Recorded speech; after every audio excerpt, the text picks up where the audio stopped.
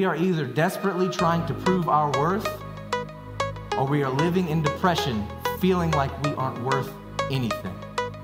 But God says that you are and you were worth it all. God laid it all down. He left heaven and became a man. He came down and laid his life down for you so that you don't have to. All out of his love for you. You never did anything to make God love you, and you can never do anything to make him stop loving you.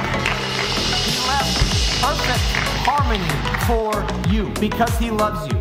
And if I haven't done a good enough job of proving it, look back at Ephesians 1, verse 4. For he chose us in him before the creation of the world to be holy and blameless in his sight. The cross was not a surprise of sin. It was not an afterthought of Adam and Eve. Jesus' work on the cross was planned from eternity's past. Before anyone could choose Christ or deny his deity, the cross was the plan. It wasn't plan A, it wasn't plan B. It was the only plan. Before you took your first breath, it was the plan. Before your parents even existed, it was the plan. Before your depression settled over your life, it was the plan. Before anxiety and your addiction and your bitterness and your broken heart has gripped, gripped you, it was the plan.